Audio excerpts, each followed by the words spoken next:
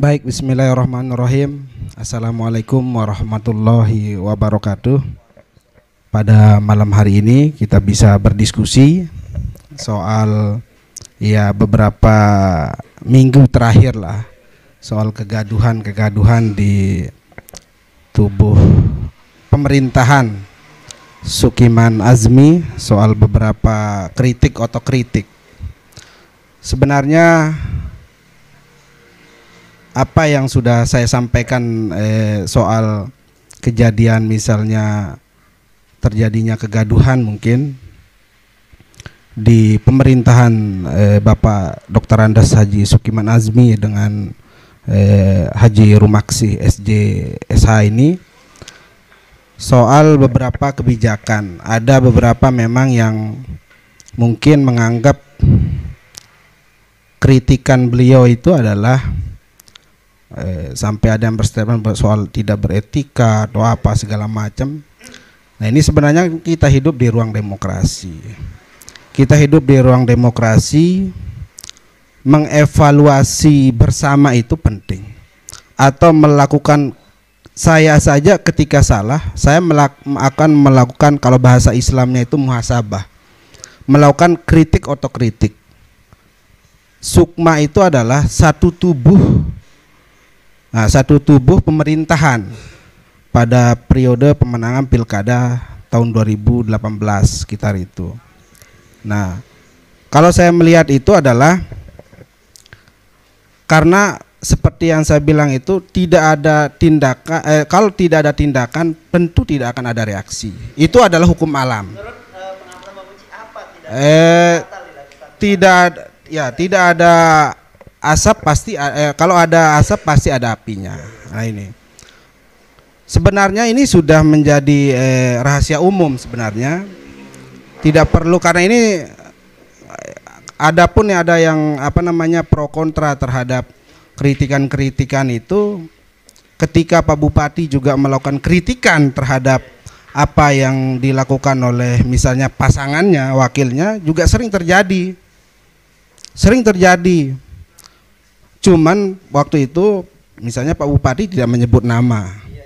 Nah, tidak menyebut nama. Contoh misalnya waktu keributan soal eh, ada program di Dikbud atau misalnya ada waktu itu soal eh, pemakaian dana bos misalnya. Itu kan keras statement Pak Bupati. Orang orang akan berpikir bahwa misalnya soal waktu itu dana bos dipakai untuk eh, pelatihan wasit misalnya. Itu kan Pak Bupati juga melakukan kritik terhadap wakilnya. Nah itu maksud saya. Sehingga kenapa ketika wakil bupati melakukan kritik itu kok rame-rame orang nyerang gitu loh.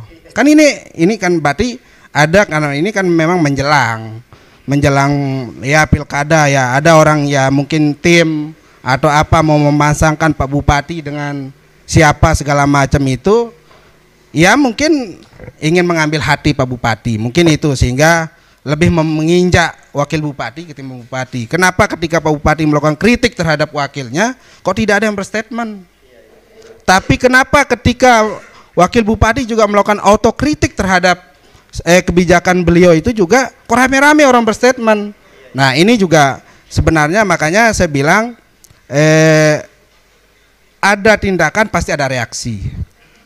Ada tindakan pasti ada reaksi. Nah ini sebenarnya menjadi eh, apa namanya persoalan kita sehingga terjadinya kalau misalnya bilang kan ada yang bilang bahwa tidak elok mengkritik ya. nah, di ruang publik ya, kenapa ya, ya. nggak ngomong aja segala macam ya kan Pak Bupati juga mengkritik di ruang publik ya, ini, waktu ini itu dilempar kritik ya? iya Pak Bupati juga pernah melempar hal yang mengkritik wakil bupati di ruang publik kenapa tidak tidak apa namanya tidak eh, di di di apa namanya dikomentari oleh semua pihak. Nah ini juga menjadi pertanyaan sehingga kalau saya melihat itu bahwa ini eh, ada pihak-pihak yang saya anggap ingin mencari panggung lah dalam kekisruhan antara eh, apa namanya kritik otokritik antara bupati wakil bupati atau wakil bupati melakukan eh, ke pak bupati. Padahal itu sebenarnya sudah terjadi. Pak Bupati justru selama ini kan wakil bupati tidak pernah berstatement apa pun sebenarnya. Justru sebelum-belumnya itu kalau ada ini nenek MEPK ada kadu dana meni meni kan itu kan bilangnya Pak Bupati di ruang publik Iya, dan iya. masih ada jejak digitalnya. Nah itu waktu di- lagi diundang para kepala desa kecamatan, beliau juga menyampaikan itu, melakukan kritik terhadap wakilnya. Cuman beliau tidak menyebut nama. Tapi Iya, iya, iya. kita bisa membaca siapa yang dialamatkan statement Pak Bupati itu.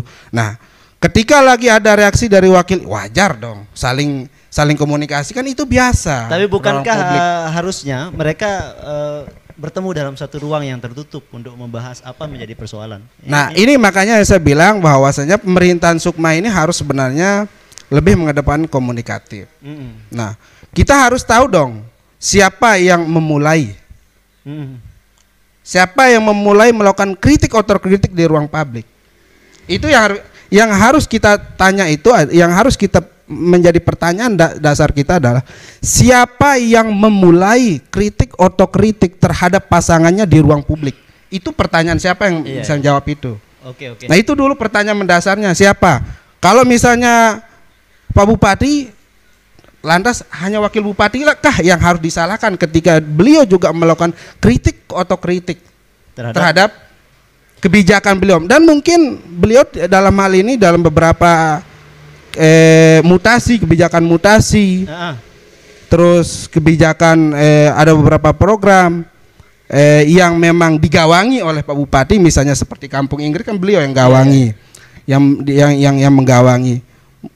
Ya kalau saya yakin pasti ada dasar yang kuat Ah. wakil bupati melakukan kritik otokritik terhadap pasangannya pasti ada dasar yang kuat Iya. Nah, kalau kita bilang oh cukup sebenarnya bisa diselesaikan Ada di meja, di ruang-ruang, ya mungkin beliau tidak pernah dilibatkan dalam komunikasi Iya. itu. Ini ada pertanyaan. Kita bisa buktikan, kita bisa buktikan setiap ada beberapa mutasi siapa yang melantik Iya kan selalu dan Pak di Wabub. ruangan mana dia dilantik. Rata-rata Pak Wabub yang melantik. Bisa kita lihat dan bisa bisa dicek di di di apa namanya jejak digital di media di ruangan mana dia dilantik dan siapa yang melantik paling sering. Ya, tolong dijawab itu. Pasti yang saya adalah bupati dan Pak Sekda. Ah, Oke oke. Nah itu mungkin dalam sepanjang empat run, runs eh, dari awal beliau terpilih sampai sekarang saya ngelihatnya hanya satu kali beliau melantik dan selebihnya itu di ruang Pak Sekda kadang tertutup dia pelantikannya itu. Ada pertanyaan Nah Pak. itu itu kan Arahnya kemu- ya kemungkinan besar itu adalah beliau tidak diajak berkomunikasi itu dalam pandangan saya.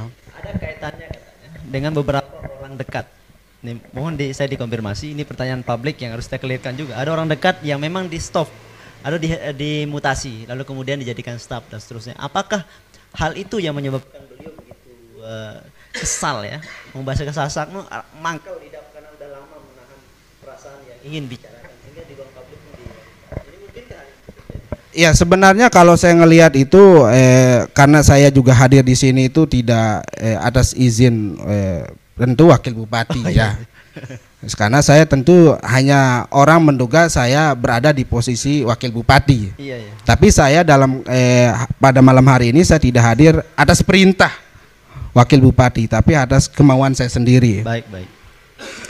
Sebenarnya bukan persoalan itu karena yang beliau sampaikan itu waktu itu adalah ini kan kita eh, biar SKPD itu menjadi khawatir dia Iya. ketika dalam proses melaksanakan tugas dan kewajibannya sebagai entah itu kepala dinas, sekdis, kabit dan lain-lain kasih segala macam itu mereka menjadi khawatir, was-was Iya, dalam tenang bekerja ya. itu. Ya. Karena sebentar-bentar hampir kalau kita lihat di kabupaten kota terutama di NTB ini Lombok Timur paling sering mutasi itu. Iya iya. Nah, itu sehingga kekhawatiran-kekhawatiran itu muncul di teman-teman di eh, SKPD. Nanti bulan depan akan mut- mutasi. Saya dengar-dengar aja ini sekitar bulan Juni akan ada mutasi eselon 3 kabit itu eh, katanya akan ada lagi mutasi begitu. Saya dengar ini. Nah, itu maksud saya. Sehingga semuanya menjadi eh, khawatir. Eh, to- tidak tidak fokus bekerja karena takut nanti ya bulan depan paling dimutasi. Nah itu Tahan masalah. dulu sampai di sana bang. Ngo- saya langsung ke bang Eko. Ini ada hubungan eh, berkaitan. eh, ini berkaitan dengan bang Eko. Ini tadi bang katakan wajar dong bupati itu mengkritik atau kemudian menyampaikan autokritik terhadap eh, menurut pandangan Side ini kan seperti apa kenapa eh, terhadap bupati Pak Wabub ini Baik, Assalamualaikum warahmatullahi wabarakatuh.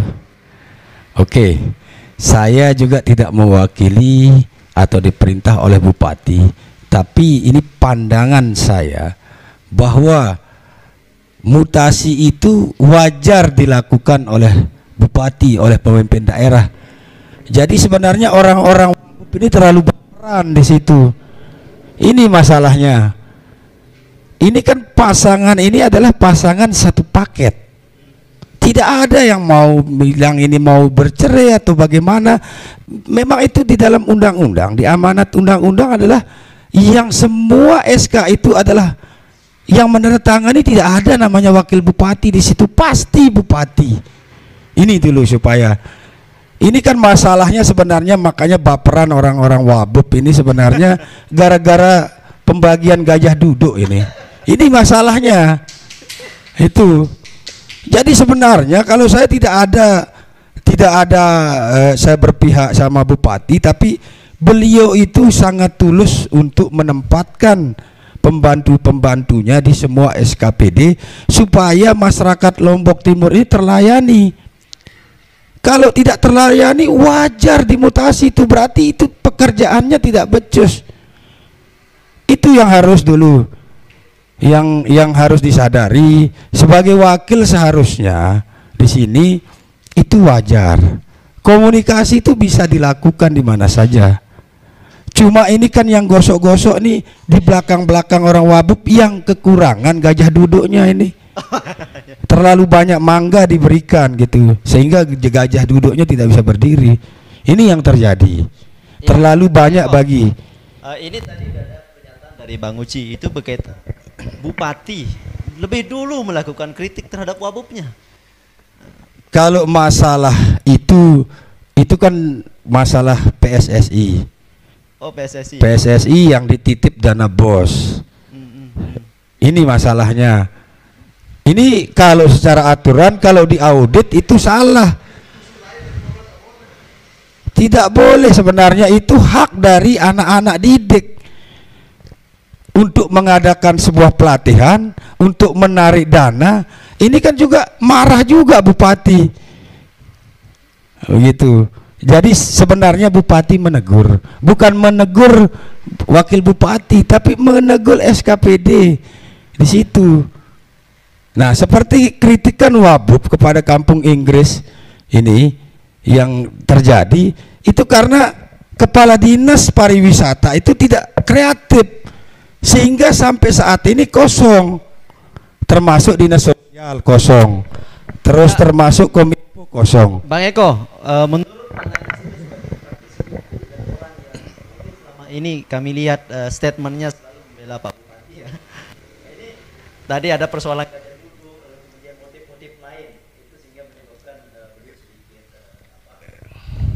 marah. ya. Dan kemudian bagaimana seharusnya sebagai seorang pimpinan daerah terhadap eh, bawahannya? kalau bupati itu saya rasa beliau itu tulus tulus untuk memimpin Lombok Timur tapi karena kita menghadapi pandemi kemarin semua wilayah di wilayah Indonesia ini tidak bisa berbuat apa-apa. Anggaran itu terserap di sana. Nah setelah agak longgar begini wajar. Seorang bupati ingin menyelesaikan apa janji politiknya dengan pasangannya. Tidak ada bahwa kedua beliau ini adalah orang tua kita yang harus kita jaga. Jadi tidak harus dikubu-kubukan seperti Uci misalnya sudah dapat angin dua kecamatan tidak syukur-syukur di situ. Ini kenapa Kominfo dikosongkan? Karena di situ tidak maksimalnya para OPD ini bekerja. Jadi bupati juga gergetan. Tidak bisa membantu apa dari sesuai visi-visinya itu. Ini yang terjadi. Nah, kenapa saya berbicara begini? Saya juga kasihan juga melihat bupati selalu disalahkan. Orang tua kita, wakil bupati juga sebagai orang tua kita, janganlah teman-teman yang mendekat di Wabub itu terlalu baperan. Sebenarnya mereka tidak ada apa-apa sebenarnya. Wajar itu di dalam sebuah eh, di- dinamika politik ini itu wajar. Jadi ini sebenarnya kan orang-orang yang baperan ini orang yang di kubu Wabub ini sebenarnya. Itu yang terjadi. Gini, sebenarnya nggak ada baper-baper sebenarnya. Karena ini kan seperti yang saya bilang tadi itu bahwa ada tidak ada asap kalau tidak ada api. Tidak ada tindakan ka- pasti ada reaksi. Nah, itu ini yang anu yang yang harus kita pertanyakan itu adalah kan ini sebenarnya seperti kita. Kita malahan kita berharap bahwa beliau berdua itu harusnya ketika dia misalnya menyampaikan apa yang menjadi kekurangan, beliau bisa berkomunikasi di ruang-ruang tertutup. Nah, tapi kan siapa yang memulai? Nah, kan ini menjadi pertanyaannya, siapa yang memulai ini? Yang seharusnya Pak Bupati kita harapkan juga beliau ya sedikit menahanlah emosinya juga ketika misalnya mungkin teman-teman media bertanya, beliau juga harus tahan oh, ada wakil saya. Nanti kita bicarakan. Kalau ada kekurangan jangan dilempar langsung ke ruang publik. Tutas-tutas langsung. Ah itu. Sehingga kan ada pihak-pihak yang eh, juga di yang saya bilang itu eh, yang akan mencari panggung dalam persoalan persoalan ini.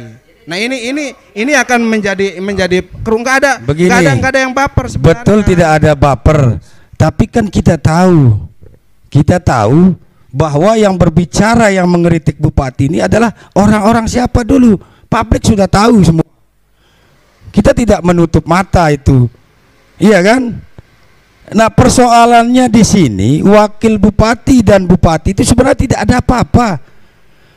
Ini hanya pembagian gajah duduk yang kurang sebenarnya ini. Ini sebenarnya sehingga kenapa kepala dinas sosial begitu pulang beliau dari umroh mungkin beliau diberikan petunjuk di Makkah bahwa Mahsin ini memang tidak becus di dinas sosial sehingga dimutasi. Wajar itu.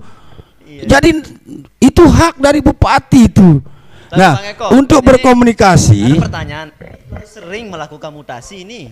Begini, bupati itu sebenarnya ingin segera men- eh, mencapai apa dari janji politiknya sebenarnya. Begitu pandemik ini longgar, bupati ini ingin ngebut, ingin bekerja.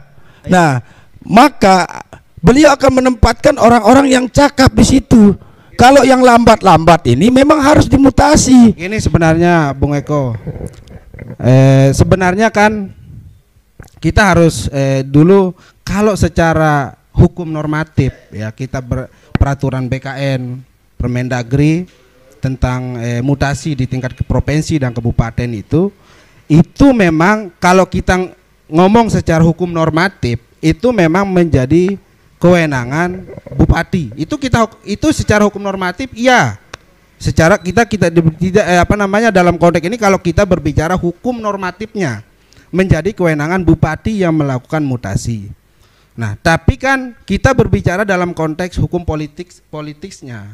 Nah, hukum politiknya di sini maksud saya itu adalah beliau ini adalah yang dipilih oleh masyarakat Lombok Timur yaitu adalah Sukiman Azmi dan Haji Rumaksi atau pasangan Sukma.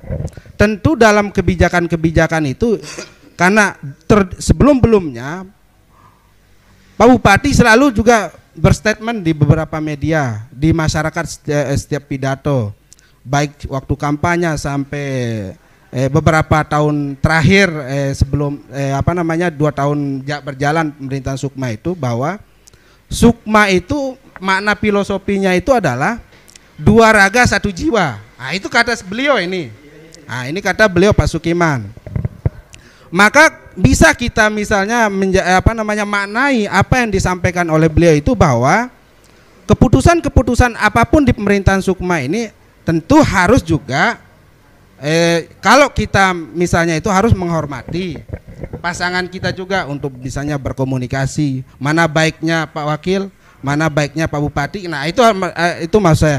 Dan beliau juga mengurangi lah misalnya mengeritik eh, wakil program yang misalnya digawangi oleh wakil tentu ada juga kan.